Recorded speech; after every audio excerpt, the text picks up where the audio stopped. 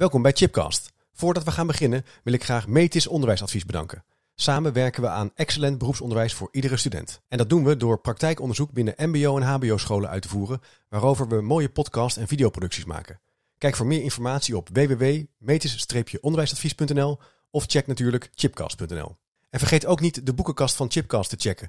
Op www.managementboek.nl slash chipcast vind je alle boeken die in de podcastgesprekken voorbij komen. Welkom bij een nieuwe aflevering van Chipcast. Een podcastserie waarin ik op zoek ga naar verrassende antwoorden en nieuwe perspectieven op vragen die mij bezighouden. Leuk dat je luistert naar een nieuwe aflevering. En vandaag de gast in de studio is Leo Kerklaan. Hoi Leo, goed dat je er bent. Dag Chip, fijn hier te zijn. Kijk er erg naar uit. Leo, voor degenen die jou uh, nog niet kennen, je bent organisatieadviseur en docent. Ja, dat klopt. Al uh, best wel een aantal, uh, aantal jaar. Ik volg je al. Ja, zo zou je het ook kunnen zeggen inderdaad. je focust je op strategisch prestatiemanagement. Ja. En je helpt ook uh, klanten en cliënten met strategie ontwikkelen. Ja. En die ook dan te vertalen naar businessplannen. zeker, en, uh, zeker. Realisatie hè, Ja. van wat we willen. Ja. Um, en je adviseert ze ook hoe je dat kan implementeren. Onder andere met uh, ja, prestatiemanagement, met critical performance indicatoren, KPI's. Ja. Waar soms een beetje vies over wordt gesproken ja, ik vandaag weet de dag. Dus daar gaan we het ook ik over hebben. Daar gaan we het zeker over hebben. Daar kijk ik erg naar uit. En ook het veranderproces wat daar eigenlijk aan, aan gekoppeld is. Hè? Want ja, Ja. je kan wel dit soort ideeën maken, maar het vraagt om commitment, om samen met mensen daaraan te werken. Uh, en, dat, en dat doe je eigenlijk in verschillende stadia van het strategieproces. Uh, ja, dat heb je over de hele wereld gedaan. Doe je over de hele wereld. Je geeft er ook les over. Ja. Uh, ik ken jou met name ook ja, van je boeken, want je hebt er een aantal prachtige boeken over geschreven. Die ik al ja, best een tijdje op mijn vaste boekenplank staan. Um, dus die wil ik ook gebruiken als aangrijpingspunt van, het, van de podcast. Uh, ja, want dat was ook graag. de aanleiding. Hè? Ja. Dus dat, uh, daar gaan we het over hebben. Want de, de, de, het eerste boek wat ik even naar voren wil halen is De Cockpit van de Organisatie. Ja, zeker. Prestatiemanagement met behulp van scorecards. Ja. Ja. Ja, dat heeft een, een lange geschiedenis. Dat gaat nog Ja. terug naar de tijd dat ik bij Fokker werkte. En Fokker heeft ooit eens een keer een groot onderzoek laten uitvoeren door McKinsey. En een van de aanbevelingen in het rapport was om kengetallen te ontwikkelen. Tegenwoordig zouden we zij KPI's zeggen. En mijn toenmalige baas die zei, het is echt een klus voor jou. En zo ben ik eigenlijk in het onderwerp gerold. Kijk. En toen ben ik na gaan denken over de toepassing van KPI's en Ja. uh, hoe je dat kunt doen. En toen heb ik bedacht dat het misschien bij, kop, bij, bij Fokker aardig was om de cockpit als metafoor te nemen. Ja, dat zie je ook op de voorkant. Hè? Je ziet Ja. een uh, vlieger, voor mij een, uh, is het een zweefvlieger? Ik denk het wel. Ja, in dit geval. In dit geval, ja, er zijn natuurlijk meerdere edities van, maar, maar die gaat ik het eigenlijk om, eh, eh, omdat wij in de gaten kregen dat het boek steeds meer aftrek vond eh, in het HBO-onderwijs, met Ah. name. Oké, Eh, om ook een beetje een cover te maken die de jeugd zou aanspreken. ja. En eh, nou ja, dus hebben we een wat jongere piloot genomen. ik had er ook zelf op kunnen staan. Ja, precies, maar maar dat was niet zo interessant Kijk, geweest. kijk, kijk. Ja. Um, een ander boek wat, wat, wat ook echt de moeite waard is om te lezen. De wendbare organisatie. Ja. Agility-based strategy in de praktijk. Ja.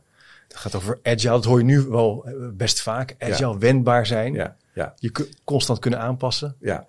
Ja, dat komt eigenlijk, eh, het is een bouwt voort op de cockpit zou je Ja. kunnen zeggen. Maar in de tussentijd, want de cockpit stamt uit 1996, zijn de tijden eigenlijk eh, alsmaar turbulenter geworden. Ja.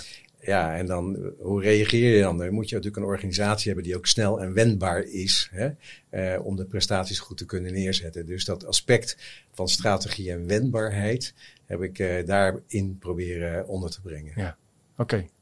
Interessant. Ja, ik, ik vind het met name boeiend omdat ik, ik jouw werk en het kijken naar prestatiemanagement ook gebruik in het onderwijs. Ja, Waar aan de ene kant vaak wordt gezegd van uh, ja, we, we, we, kijken op zo'n klassieke manier naar onderwijs en naar implementeren. En mijn stelling is eigenlijk, we zijn heel slecht in het implementeren van verbeterprocessen. Ja. Uh, zelfs zo slecht dat we daardoor van vernieuwing naar vernieuwing hobbelen en eigenlijk niet gestructureerd leren denken en werken. ja. Um, dus ik, ik vind het heel aardig om... ik vind dat eh, wat je nu zegt, Ja. spreekt mij wel aan. Dat is eigenlijk iets wat ik, wat ik, waarvan ik denk, je mag uh, dat wel tot een soort algemene observatie maken. Hm. Uh, wij vinden allemaal nieuwe dingen uit.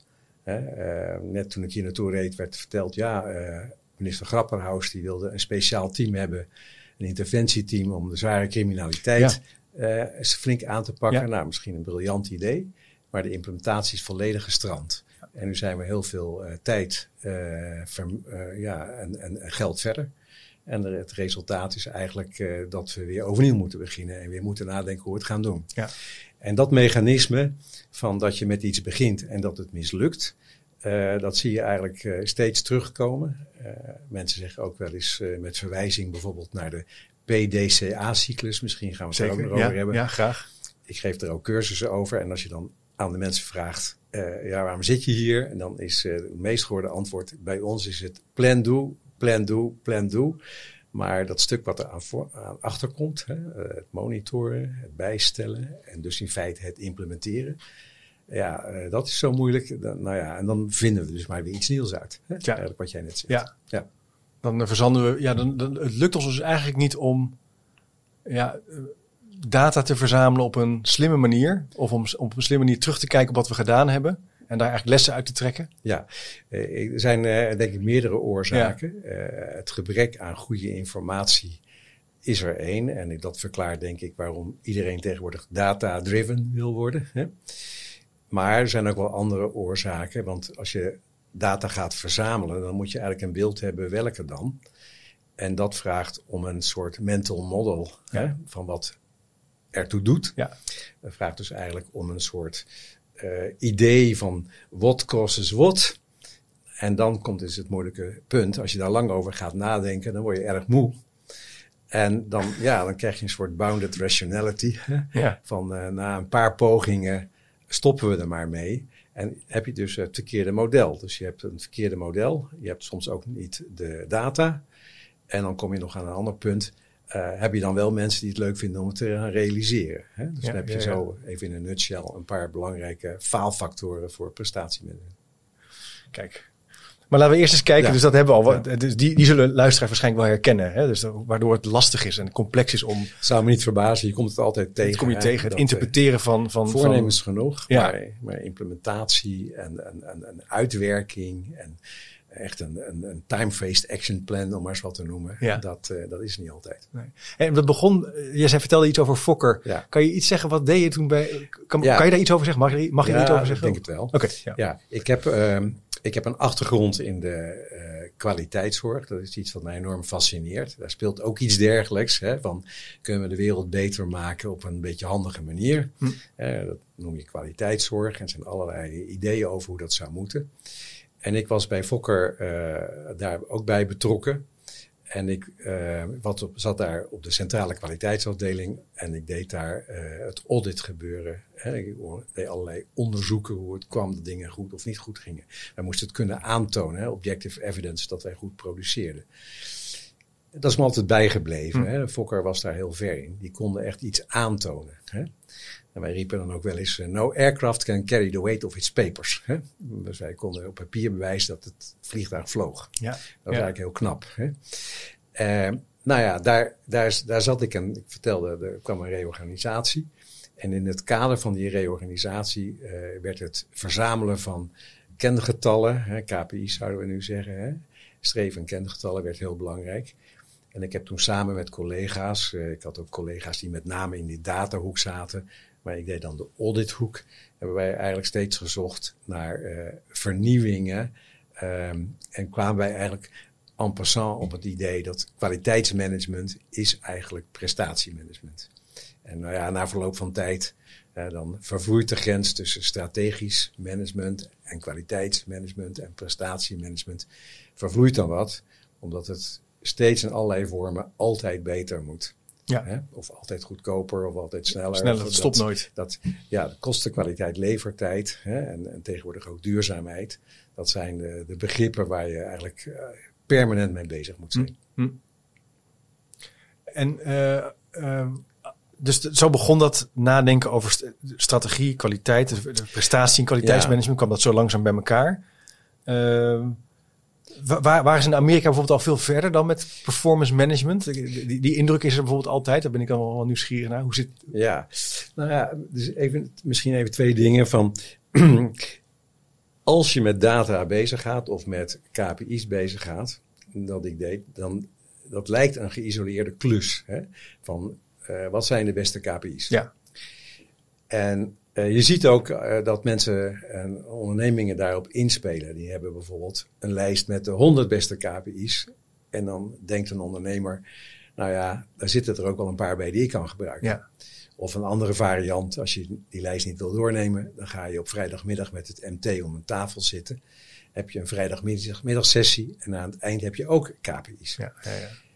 Maar dan komt de vraag van hoe goed zijn die KPI's eigenlijk? Ehm, en dan moet je eigenlijk terug naar het voortraject. Waar moeten die KPI's iets over zeggen? Uh, meestal heeft het ook te maken met uh, zij. Hoe goed doen wij het nu? Hè, wat is het, dat noemen we operationeel prestatiemanagement.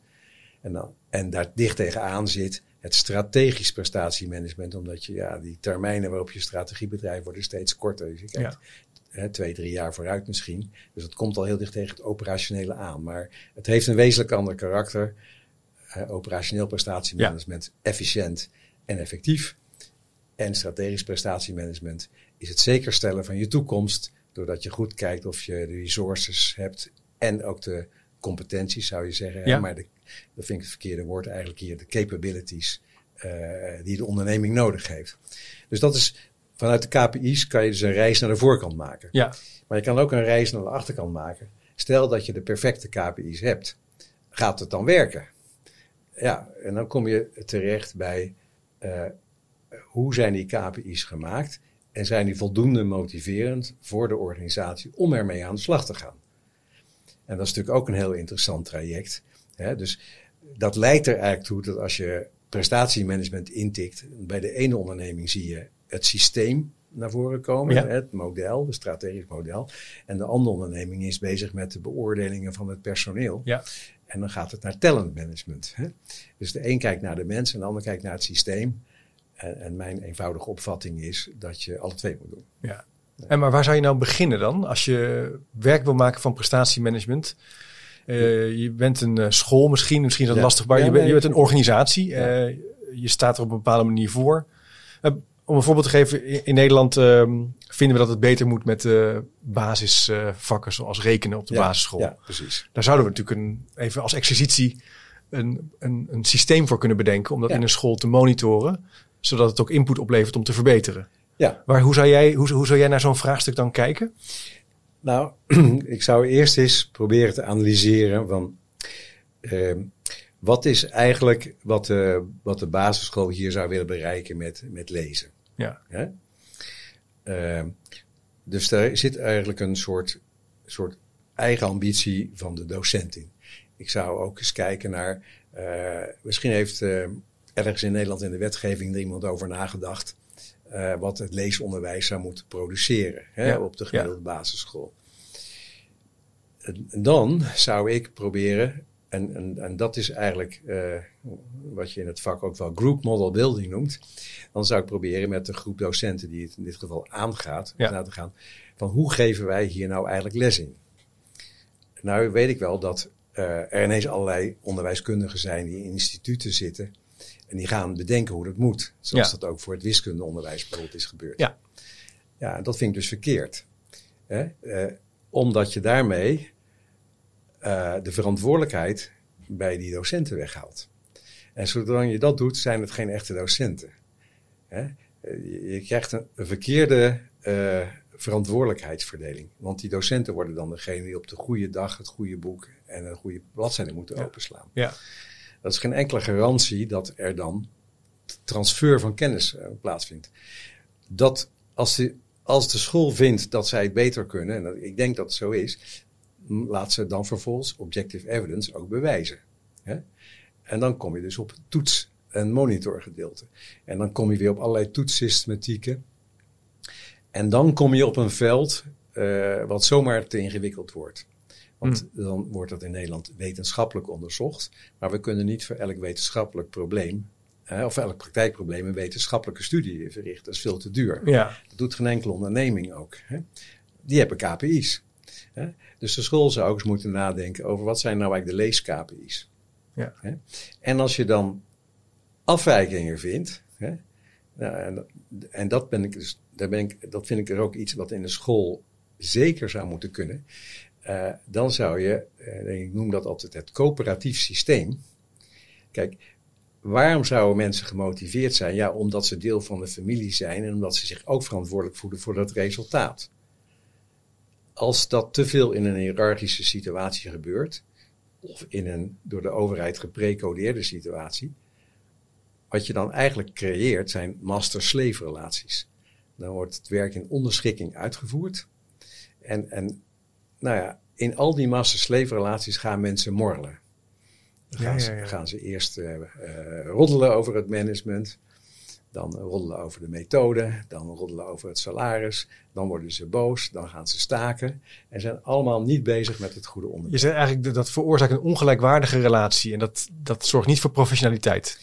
Ja, in de kern komt het steeds op neer dat je de waardigheid van de medewerkers moet managen op het goede niveau. Hm.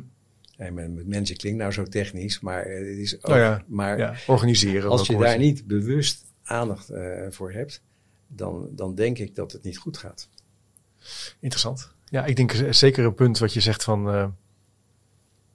Dat die methode eigenlijk hè, heel dominant een rol is gaan spelen in het onderwijs. Er zijn natuurlijk een tal van uitgevers die natuurlijk ook uh, ja. de markt volgen. Ja. En die maken methodes en die ja. uh, volgen ook de ontwikkelingen. Je ziet het nu bijvoorbeeld ook met een nieuw thema als burgerschap ook ontstaan in het onderwijs. Dan komen er burgerschapsboeken. Ja.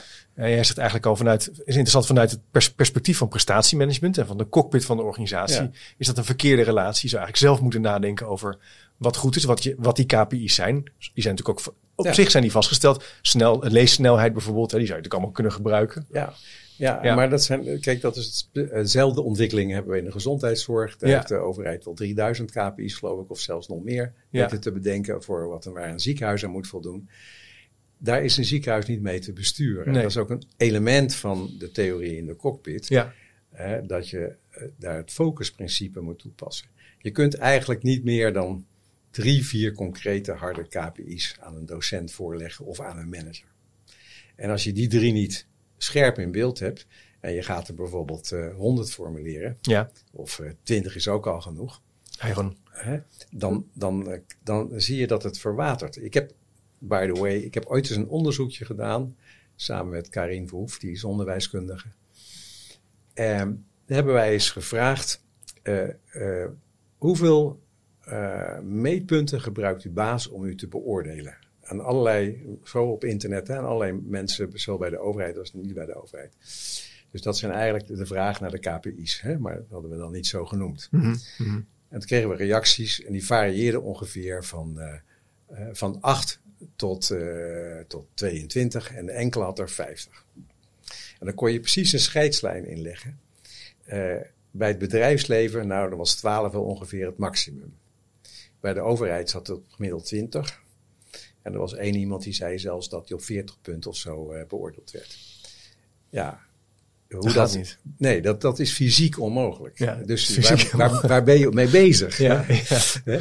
dus, dus je moet je kunt ook omgekeerd zeggen. Ja. Uh, hoeveel KPI's kan eigenlijk iemand, een, man, een manager of een uitvoerende fysiek aan? Ja. Nou, het antwoord is uh, ooit eens onderzocht door iemand, een psycholoog die veel verstand had van het korte termijn geheugen. En uh, die, die schreef een, een boek met als titel The Magical Number 7. maar de subtitel was Plus or Minus 2. nou ja, dus, maar er was ook nog een andere kleine bijzonderheid dat in je korte termijn geheugen kunnen ook andere belangrijke dingen komen. Ja. Dus ik noem eens iets, uh, je gaat een nieuwe auto kopen of ja. je gaat nadenken of je uh, van de energieleverancier gaat Ja, je wil een nieuwe iPhone. Ja, of een nieuwe iPhone. Hè? Dat neemt geheugen plaats en die moet je eraf trekken. Hè? Dus vandaar plus dus, of min 2. Nou ja, eigenlijk is het zo. Ook nog erbij. Dat je die er ook nog af ook nog. dus dat er tussen, pak weg, hè, uh, van 7 ja. ga je naar 5. Hè, je komt dus tussen 3 en 7 KPI's zijn in de praktijk een goed, uh, goede vuistregel. Maar dat is wel echt confronterend als je even zo kijkt naar sturing geven aan continue verbetering. Dat kunnen dus drie, niet meer dan 3 tot 7, laten we ongeveer... Per, per individu. Per individu. Dan komt de vraag, hoe doe je het dan in een organisatie? Ja. Dat is drie misschien wel weinig. Ja. uh, afgezien van het feit dat het wel helder kan werken. Hè? Dus als je aan de KLM vraagt, waar ben je goed in? Dan staan er ook vier punten. Ja. Veiligheid enzovoort. Hè? Punctualiteit. Uh, maar uh, als je een eenvoudige organisatie zou, zou hebben, hè? dus ik, ik teken een Nederlands organisatieschema, ik zal het niet tekenen, maar je hebt één baas, je hebt drie afdelingshoofden die elk drie teams hebben. Dan heb ik dus negen teams, drie afdelingen is 12 managers plus één erboven is 13. Als je ieder vijf KPI's geeft, zit je al op 65. Dus dan heb je al 65 KPI's die je fijnmazig kan verdelen, die je allemaal een andere waarde kan geven hè, om je organisatie te besturen. En, en dat is klinkt ook, wel, klinkt toch wel veel. Dat ik denk, goh, is dat niet. Hoe, ja, maar dat kunnen we aan. Dat kunnen we aan. Jij zegt dat daar kan. hebben we ver voor. Ja. Maar jij hoeft maar op vijf dingen te Ja, precies. Oké, gelukkig. Ja. Alleen er is in de onderneming zijn coördinerende krachten. Die moeten natuurlijk zorgen voor regie. Ja, ja daar komen we, komen we ook nog op. Want uh, dit hangt natuurlijk ook weer samen. Hè? Mijn, Wat je vaak ziet in het, uh, uh, met teams. Ja, ik ben ook een beetje afhankelijk van, van de inkoop. Of ja, mijn staf die is zo traag. Ik wil wel uh, werken aan die leesmotivatie of dat project. Maar ik uh, ben ook een beetje afhankelijk van die en die. Ja. Dus het hangt ook nog eens allemaal samen. Ja, ja dus dat, dat verschijnsel, hè, ja. uh, dat je dus eigenlijk niet wilt dat inkoop in isolatie aan zijn verbeterde doelstellingen werkt. En dat bijvoorbeeld verkoop dat doet, of dat uitvoering dat doet, of dat financiën dat doet, dat wil je voorkomen. Ja. Hè? ja. Dat is wel een heel praktisch punt hoor. Want als je dus als uh, adviseur, um, bijvoorbeeld, ik heb eens een financiële afdeling gehad die KPI's wilde maken. En uh, nou, we waren mee bezig en zei ja, maar eigenlijk hangt onze KPI af van inkoop. Precies, hè? ja. Dus ja. ja. wij kunnen niks doen. Nee, hè? we wachten even. Ja. ja. Dus dat betekent, je moet het iets anders aanpakken. Je moet eigenlijk uitgaan van wat zijn, is nou overkoepelend je strategie, wat zijn je strategische hoofddoelstellingen. Ja. En wat is ieders bijdrage aan die strategie? Daarom ben ik ook voorstander van primair strategisch prestatiemanagement. Hè? Je veegt de trap van bovenaf schoon. Je hebt een plan, wij willen in de toekomst dat en dat doen. Dan moeten wij dat en dat voor bereiken. En dan wil ik dat financiën dit doet, ik wil dat productie dat doet, inkoop moet zus doen. En zo kun je dat toedelen dat toedelingsproces, dat moet je wel op een of andere manier coöperatief zien te doen. Hè? Dat is dus niet een, laten we zeggen, iemand die zegt, nou, ik, zal, ik ben de controller, hè? ik ga dat eens doen. Eenzijdig opleggen. Ja. Want Coöperatief doen, zeg jij. Ja, kijk, we hebben, we hebben dus uh, nog niet over gehad, maar je hebt vaak dat mensen KPI's maken vanuit een control perspectief.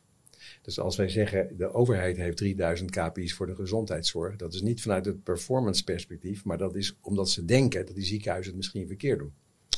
Georganiseerd wantrouwen eigenlijk. Angst dat het misgaat. Ja. En, en dus die KPI's zijn een resultaat van dat denken. Ik denk uh, de hoeveelheid, dat zijn misschien hele slimme KPI's, ja. maar de hoeveelheid KPI's en het gebrek, hè, dat er af en toe stuurt een ziekenhuis, er is 100 niet op. Hè? Ja. Dus is in Utrecht gebeurd bijvoorbeeld. Nou, daar reageert ook niemand op, omdat niemand er iets mee doet. Nee. Dus het is, een, het is A, uit, vanuit de controleperspectief en de B, de controle ontbreekt ook nog. Ja. Dus dat is nou ja, helemaal zonde van de tijd. Ja. Maar je moet het eigenlijk doen vanuit een ontwikkelingsperspectief. En dat heeft, gaat twee kanten op. Dat je wil je onderneming ontwikkelen. Daar moet je heel slim over nadenken. Maar dat kan een CEO niet alleen.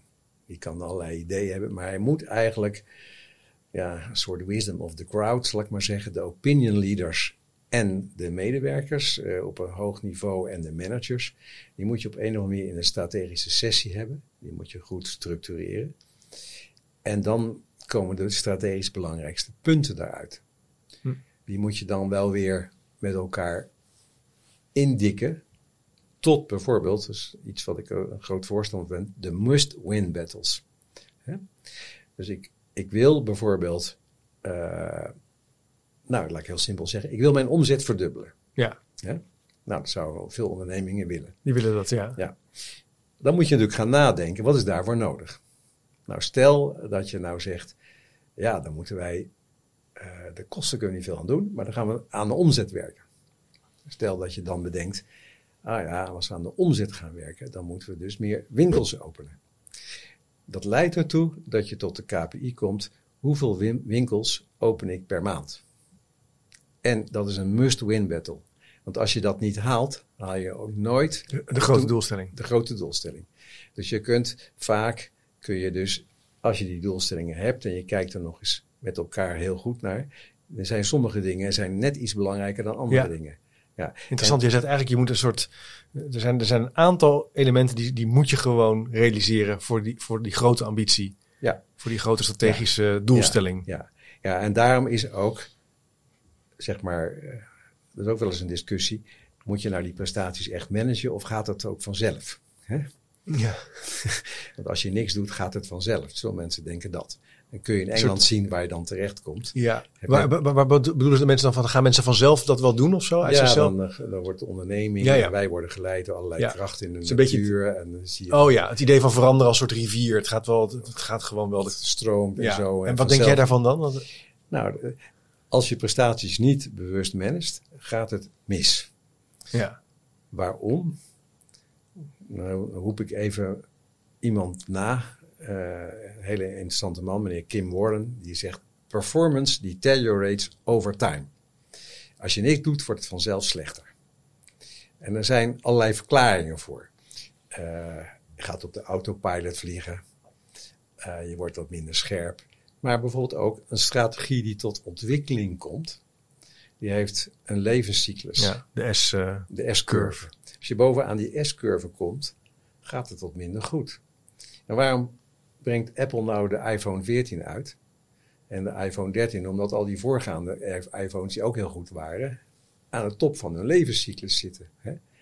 Dus die blijven niet stilstaan, omdat ze weten, als wij niks doen, dan gaat onze omzet achteruit en ons perspectief hè, als, als toonaangevende leverancier in de markt. Ja, ja, ja. Hè? Dus je, ik ben er dus van overtuigd dat je op een of andere manier performance moet managen. Maar dat wil niet zeggen dat het dus super ingewikkeld moet. Ja, of dat het dus eh, een soort eh, eenzijdige soort eh, auto baas is die mensen gaat verplichten. Dat hoeft ook niet zo te zijn. De strategie of de manier van organiseren is nog een ander vraagstuk. Want dat, dat, dat, dat zie je natuurlijk vaak gebeuren Ja. vandaag de dag. Prestatiemanagement, oh, dan moeten we prestatiemanagement. Oh, dat is heel erg naar of zo. Hè? Of Ja, dat, ja. dat, dat doet inbreuk aan mijn autonomie. Ja. Zodat. ja, ik vind het juist heel erg, erg leuk, maar anders had ik je niet gezegd. Nee. maar maar, maar die, dat is dus de invulling die wij hebben gezien Ja. van het performance management Ja. concept. Is, is vaak toch te veel vanuit een strakke controle. Ja. Het gaat straks mis of de mensen zijn niet te vertrouwen enzovoort. Dat er een vorm van controle moet zijn, dat is een, even voor nu een ander hoofdstuk, zou ik maar zeggen. Maar als het gaat om, ja, je wil je onderneming vooruit helpen in de tijd. Je wilt continuïteit. Hè? Dan, eh, je wilt dat doen in onzekere tijden zoals nu. Je wilt het doen als het erg turbulent is. Ja, dan is de optie van let's wait and see, hè, vind ik dan wat minder, minder interessant. Dan vind ik dus goed dat de brains in de onderneming en de mensen die zich met de onderneming verbonden voelen, en dat is niet beperkt tot het MT, want Nee. dat, de, dat de brains gemobiliseerd worden. Dat vind ik ook weer eh, voldoen aan de waardigheid en het doorbreken van de master-slave relatie. Want anders zitten die mensen daar, die komen naar werk en zeggen: Nou, baas, zegt u het maar. Ja. U heeft erover nagedacht, u wordt er vast ook heel goed voor betaald. Hè? En eh rijdt er een mooie auto van de zaak en nu ga ik het zitten uitvoeren. Hè? Dus die scheiding tussen, eh, laten we zeggen, het ontwerpen van de strategie en de executie, wat je bijvoorbeeld bij de overheid ook vaak ziet, hè? Want dan wordt het, anders wordt het ingewikkeld. Hè? Dat leidt heel vaak tot desastreuze resultaten. Hè? De uitvoering kan niet praten met, met het management. Het management maakt in isolement te slechte Ja. strategieën. Ja, Eh, de meeste managers zijn bovendien, komt er ook nog bij, de meeste managers zijn helemaal geen strategen. Besteden veel te weinig tijd aan strategie. Dat, die zijn execution biased. Hebben schedules, deadlines, daar kan je heel ingewikkeld mee doen. Nee, ze moeten veel meer percentage van hun tijd. Nou ja, je hebt ook een podcast gehad over Futurize. Hè? ja. Ze moeten ja. bezig zijn met onderwerpen die in de toekomst relevant zijn. Ja, ze moeten dus bezig zijn ook met, eh, nou ja, laten we zeggen, vroeger zeiden we altijd, we deden de SWOT-analyse ja, en anders de- eh, deden we wel scenario's. Hè. ja. Dat moet je doen. Hè. En daar komen conceptuele beelden Ja. uit die tot hè, mentaal En die wil je doorontwikkelen met die mensen, met collega's. Die heb je juist nodig. Je zegt, want Ja. dat, dat is de verbinding eigenlijk, Ja. het vakmanschap en ook eh, waarmee je dus de- die afhankelijke relatie eigenlijk doorbreekt. Ja. Dus het is verre weg van een eenzijdig top-down proces. Ja, ik vind zelfs, maar dat is mijn persoonlijk idee, het moet er ertoe leiden eh, dat je alle gegevens in de onderneming openbaar maakt. ook de salarisgegevens. Hè?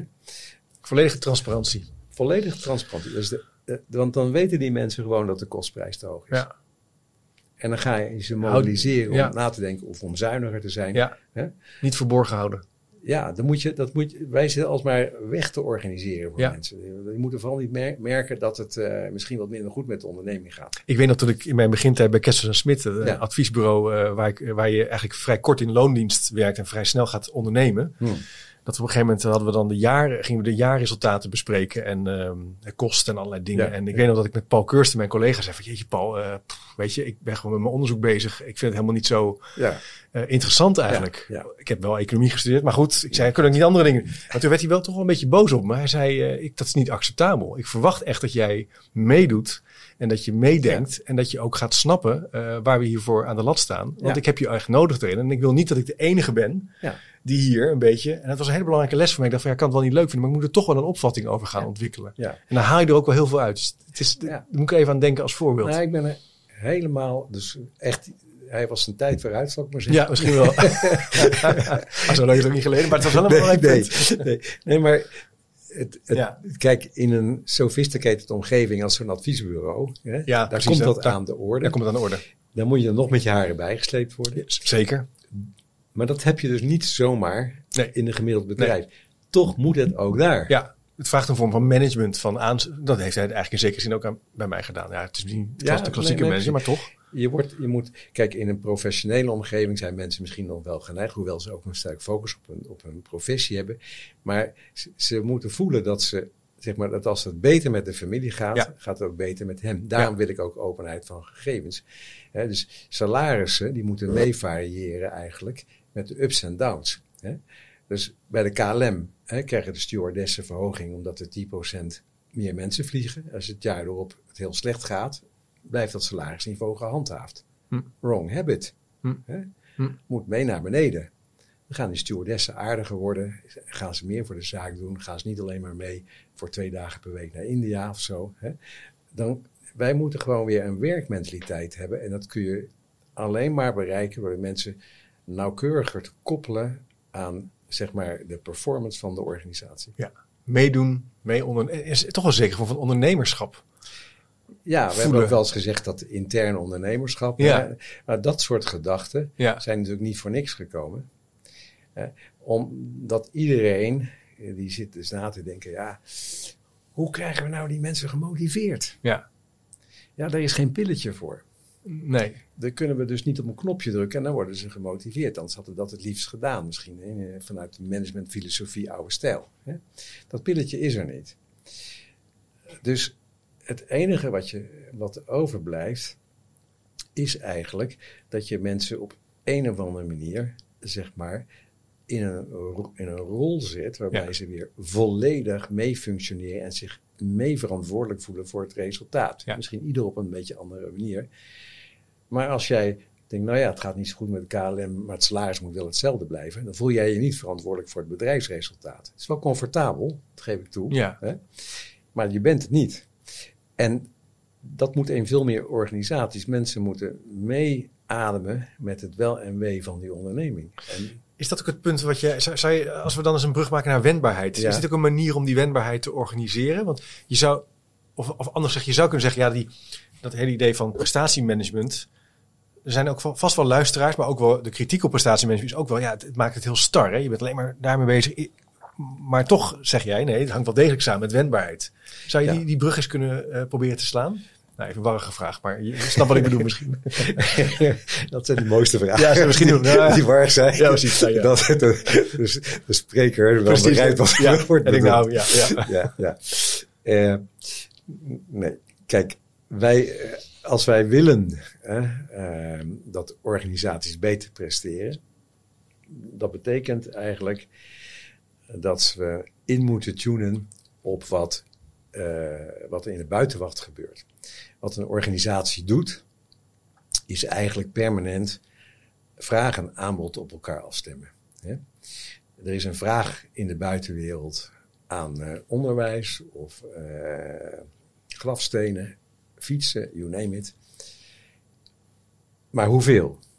van welke orde en welke kwaliteit. En die vraag moet worden ingevuld bij, door de mensen die er zitten. Er zijn maar een paar tangible resources die, die je eigenlijk moet beheersen om dat goed te krijgen. Dus aan de ene kant heb je de producten en de klanten die je hebt, in het productassortiment. Mm Aan de andere kant heb je, laten we zeggen, je productiefaciliteiten en je medewerkers. En die moeten naadloos op elkaar passen. Ja, En dat is een voortdurend gevecht. Binnen een zeker bandbreedte gaat het, gaat het goed. Maar val je uit die bandbreedte, dan verlies je het gevecht. Dan ben je te duur. Of je gaat failliet na verloop van tijd. Ja, te langzaam. dan krijg je weer allerlei andere mechanismes. Van kun je turnaround management toepassen in allerlei soorten en maten. Daar heb je nu ook ineens weer een hoop cursussen in. Hè.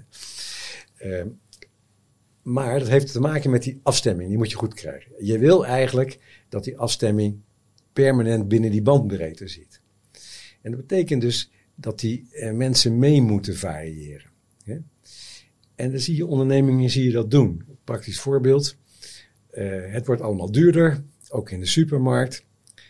Nu kan je ineens bij Albert Heijn een doos oppikken ja, ik hoorde het op de radio. Ja. was het geloof ik voor 15 euro. Ja. Nou, Albert Heijn neemt het bedrag niet kwalijk, maar voor een specifiek bedrag ja. producten krijgen, krijgen die je overhoudt als Albert Heijn. Ja. Dat is zo'n snelle wending, flexibele wending. Als je dat niet doet, heb je een ander probleem. Ja, gaan, ze, gaan de klanten gaan bij de andere supermarkt kijken, raken gewend aan die, die routine, ben je klant kwijt. Ja, dan mis je dus, en dus die, doordat die afstemming niet meer is wat die moet zijn, en die gewijzigde vraag moet leiden tot een gewijzigd aanbod, ja. dat zie je in dit geval gebeuren, probeer je de zaak op te lossen. En dan blijf je weer binnen je bandbreedte. Nou, maar dat vraagt natuurlijk niet dat iedereen maar gewoon ijsreinig doorgaat met wat hij altijd al deed, zonder daar zich bij af te vragen of het wel genoeg is en voldoende is en kwalitatief goed is.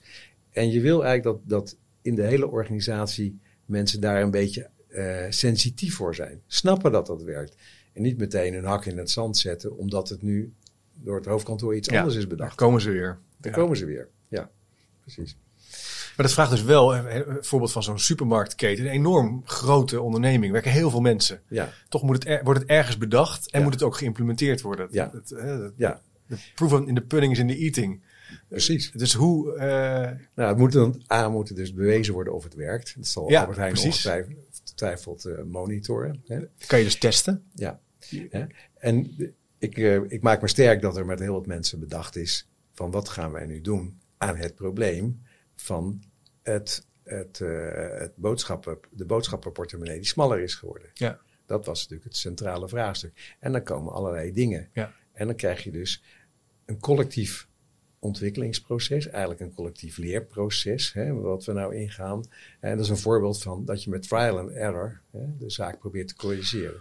En dat vraagt dus om daaraan te willen meedoen. Ja, hè? ja. Dat vraagt om die wendbaarheid. Dat vraagt om die wendbaarheid, ja. ja. Ja. Maar zou je kunnen zeggen dat, is de, dus dat die wendbaarheid, maar ook het nadenken over prestatiemanagement eigenlijk een continu leerproces is? Eigenlijk het continu bekwamen buitenwereld, binnenwereld, uh, afstemming tussen afdelingen, constant betekenis geven. Ja, ik, ik, ik denk dat je, dat, dat vind ik ook zo interessant. Het is eigenlijk een onderwijskundig. onderwijskundig ja, misschien veel meer dan we. Ja. Het is veel meer onderwijskundig. Ja, dan we denken. Dan ik dacht gelijk zo zeggen. Ja, ja jij hebt dat waarschijnlijk al. Ja, want onderwijskunde is een heel fijnmazige wetenschap. Hè, van uh, wat moeten we nou doen? Uh, nou, dat hebben we hier ook. Wat moeten we nou doen als? Hè?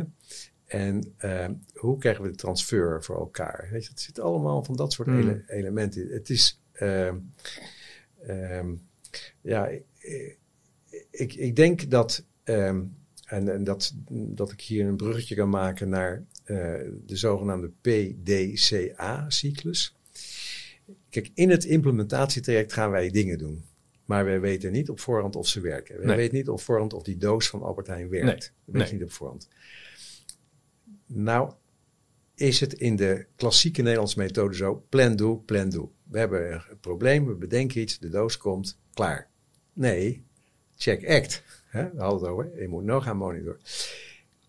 Dat proces van dat er nog iets aan vastkomt. Nou is de vraag interessant. Wie betrekken we daar nou bij? Als ik het even veralgemeniseer. Ja, ja. Wie betrekken we daar nou mee? Nou is mijn idee, het management moet hier wel enige regie houden. Want die zijn uiteindelijk verantwoordelijk dat dit soort onderwerpen geadresseerd worden. Maar er zitten hele afdelingen bij bedrijven die met iets bezig zijn. Uh, ook traditioneel in de, in de productiesfeer. We zijn met elkaar een bepaald product aan het fabriceren. Kan dat slimmer, handiger? Uh, waar, hoe kom je op die vraag? Omdat er mismatches zijn. Non-kwaliteit, producten die teruggestuurd worden, noem maar op.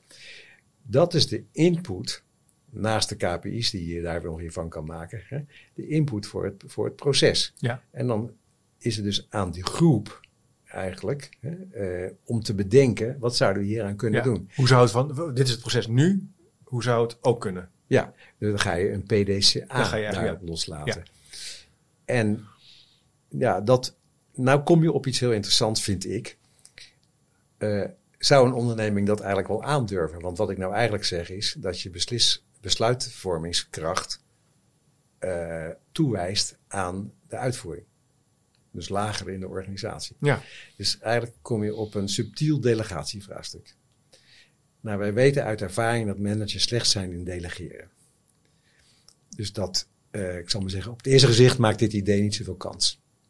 Want je gaat delegeren en je bent als manager ineens onbelangrijk geworden. Ja. Want je gaat er niet zelf over. Het voelt ongemakkelijk. Ja, je kon vroeger op en neer rennen. Hè. Je kon uh, heet het, de brandjes blussen. En dan was je altijd, uh, hoef je niks bijzonders te doen. Dus alleen maar, in ieder geval iedereen begreep dat jij die brand aan het blussen was. Hè. En managers die alleen maar brandjes aan het blussen zijn, die hebben dus eigenlijk heel slecht georganiseerd. Want die benutten die uh, resources, die human resources, die benutten ze niet. Hè. Ze benutten de brains niet. Nou, en door de, als je de brains wil benutten, dan kom je automatisch het leerproces. Want die, want die mensen moeten een oplossing gaan verzinnen. En die oplossing moeten ze dan vervolgens gaan vormgeven. Dan moeten ze hem gaan toepassen. En dan moeten ze hem gaan testen. Dan kom je eigenlijk in een ingewikkeld, ingewikkelde cyclus. Maar ja. een belangrijke cyclus. Hè? Nou zijn wij eigenlijk opgegroeid altijd met de PDCA-cyclus. Maar wat ik ook een hele interessante cyclus vind, gaat een beetje over hetzelfde, maar wellicht net nog iets anders. Dat is de ODA-loop. En die is bedacht door een uh, Amerikaanse legerstrateeg, John Boyd. En die zegt, je hebt observatie, je hebt orientation, decision en action. Alleen heeft hij ze niet lineair getekend, maar ook weer met allemaal pijltjes terug. Hè? Ja. Dus uh, het meest simpel is, je ziet aan de actie en wat er gebeurt en dan ga je dat weer observeren. Maar wat hij eigenlijk zegt is, observation leidt tot orientation. Als ik iets zie, vind ik er iets van. Ja. En dat is het basis van het Ja. leerproces in bedrijven. De mensen zien de afkeur. Ze zien de problemen die zij in het proces hebben. Ze zien de KPI's. Dat zou, als ze ook betrokken bij de onderneming zijn, Ja, dat is natuurlijk een punt. voldoende zeg maar, moeten zijn om dat vonkje Ja. te geven. Zodat het leerproces. Ja, je zou ook het gevoel moeten hebben dat je ook wat, dat, dat, je, dat het uitmaakt of je initiatief neemt of je je uitspreekt. Ik moet denken, er was op een gegeven moment bij de spoorwegen sprake van meldingsmoeheid. Ja. Eh, dat dat Ja. conducteurs en machinisten zagen wel zaken rondom het spoor qua Ja. veiligheid of dingen die beter kwamen. Ze dachten, ja, moet ik het weer doorgeven? Niemand doet er wat mee. Nee. En dan stoppen ze met melding maken. Ja, dat is natuurlijk wel echt een dood in de pot. Je wil eigenlijk dat mensen zeggen, hé, hey, dat kan beter. Ja, dus ja, kijk, je hebt eigenlijk voor prestatiemanagement eh, heb je altijd drie dingen nodig op een voldoende niveau. Eén noemden we al in het begin, informatie. Ja, Dan heb je eigenlijk de tangible resources nodig die de grote prestaties aandrijven. Ik kom zo meteen op wat dat is. En je hebt de mensen nodig die het doen. Daar hebben we het ook, Ja. ook al aardig Ja. over gehad. ja. Nou, de, de tangible resources die je ook nodig hebt, dat zijn eigenlijk eh, bijvoorbeeld, het zijn heel simpel, het zijn ook een paar noemen, klanten, die kan je tellen, medewerkers, die kan je tellen, het productassortiment, dat kan je tellen, en de productiecapaciteit, die kan je ook tellen, en dan kun je nog soms een aantal dingen aan toevoegen, zoals leveranciers, die kan je ook tellen. Ja. Als je die in een bepaalde combinatie zet, krijg je een prestatie. En die moet dus vraag en aanbod in evenwicht houden. Hè? Ja. Maar of dat in evenwicht is, dat moet je controleren. Daar heb je de informatie voor nodig. Dus zodra je die informatie eh, niet hebt, of je hebt de onjuiste informatie, dan kan je alleen maar verkeerd gaan beslissen in het vervolgtraject. En dat zie je dus doordat die disbalans tussen die resources ontstaat. Maar nou, wat dat, dat observeren vind ik wel interessant om heel even nog op door te gaan. Zeker. Dus je, je, je, je ziet iets en je, je observeert altijd vanuit je eigen Ja. mentale model. Hè? Ja, ja. Dus de ene kan denken, oh, die leerling, die, eh, dat is niet goed. Nee. Want die, eh, die leessnelheid is eigenlijk Ja, niet oké. Of ik zie een eh, handschrift. Ja. Maar die handschrift misschien wat niet netjes aan elkaar Ja, geschreven is. Of niet in de goede blokletters. Terwijl misschien iemand anders dat niet weet. Dus dat hele denkkader niet heeft. Ja. Of misschien een andere opvatting erop nahoudt. ja. Hoe, hoe, hoe, hoe, dat ga je natuurlijk ook meemaken, kan ik me voorstellen. Hoe, hoe kijk je daar naar dat soort meer onderstroom, nou niet onderstroom dingen, maar dit, dit soort aspecten? Nee, dat is juist dat is de rijkdom waarvanuit die prestaties alleen maar beter worden. Oké, ja, ja. Ja, kijk, de, de ene docent vindt het, nou, je geeft de voorbeelden, de leessnelheid wel Ja. belangrijk. Nou, dat zal, dat zal, daar zal hij zijn argument voor hebben. Eh, de ander zegt, nou, het gaat mij niet om de snelheid, maar het gaat mij om het begrip wat na het lezen ontstaat. Ik heb er geen verstand van hoor. dus Nee, nee, nee, we, doen even gewoon. zo- ja, ja.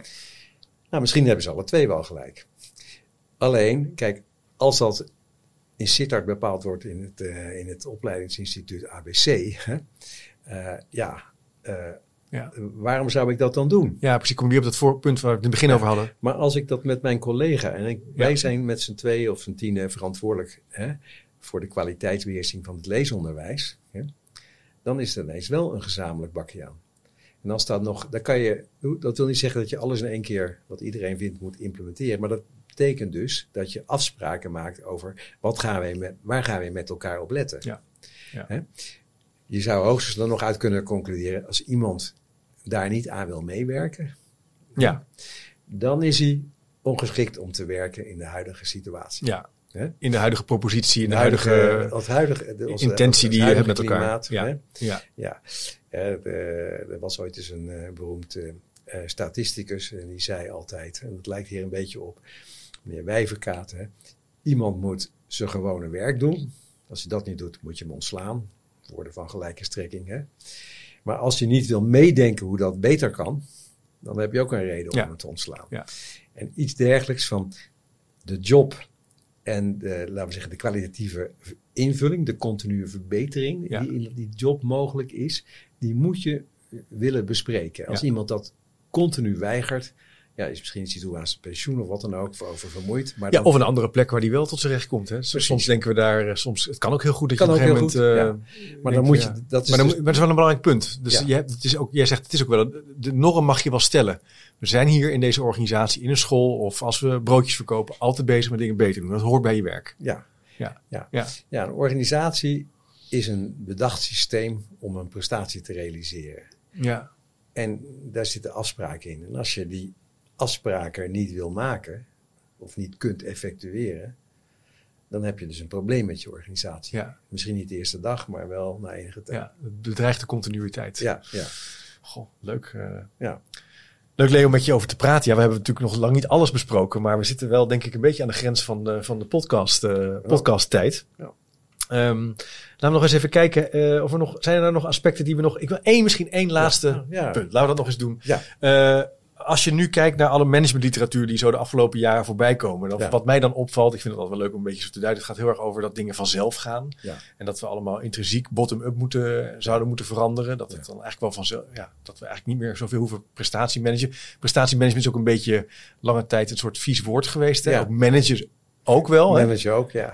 Dan, dan kunnen we, laten we alles zelfsturend doen. Hè? Dat Ja. is ook een lange tijd. Ja. Ik heb het idee dat we nu wel weer een beetje terugkomen. En dan kijken van, goh, kunnen we niet het be- best of both worlds eh, combineren? Hoe kijk jij daar nou naar? Eh, is dat nou altijd zo, zo'n pendule? Of, Nou ja, ik denk dat er altijd wel zo'n pendule is. Die gaat op en neer. Hè, en, eh, maar ik moet zeggen, ik vind eigenlijk dat er relatief weinig eh, grensverleggende ideeën zijn, bij zijn gekomen waar je veel aan hebt. Hm. Als je kijkt naar eh, zeg maar de, de oude meesters in de kwaliteitszorg die 50 jaar geleden boeken schreven, Ja.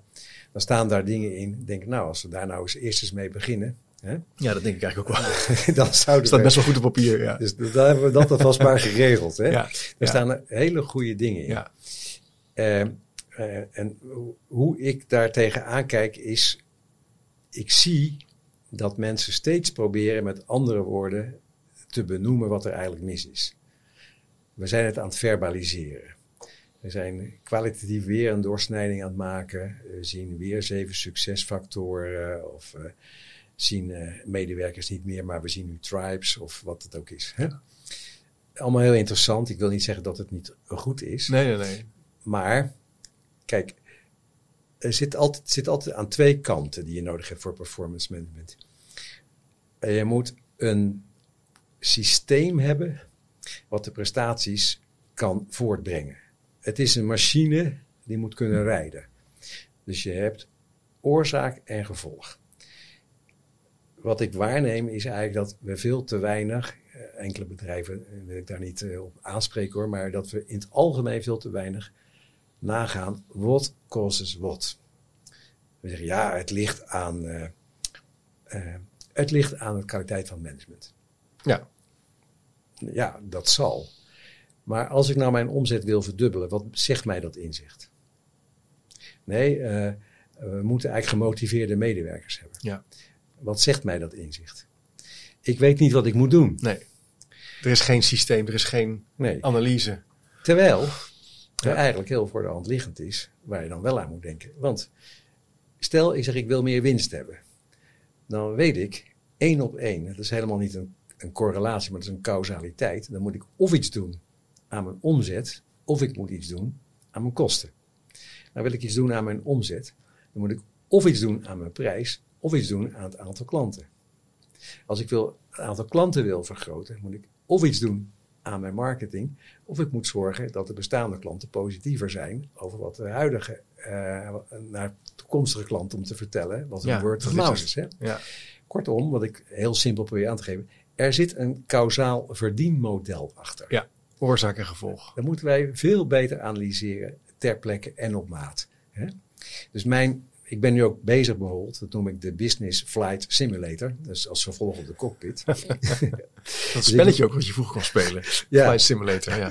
ja, en je kon ook eh, inderdaad op, op Ja. wat je dan eigenlijk deed, dat zou ik dus met een bedrijf ook willen doen. Ik wil een manager dus in de cockpit zetten. Ik zeg, dit is de bedrijfssituatie. En dan mag jij op de knopjes drukken. Oh ja. Je mag eh, proberen meer mensen aan te nemen.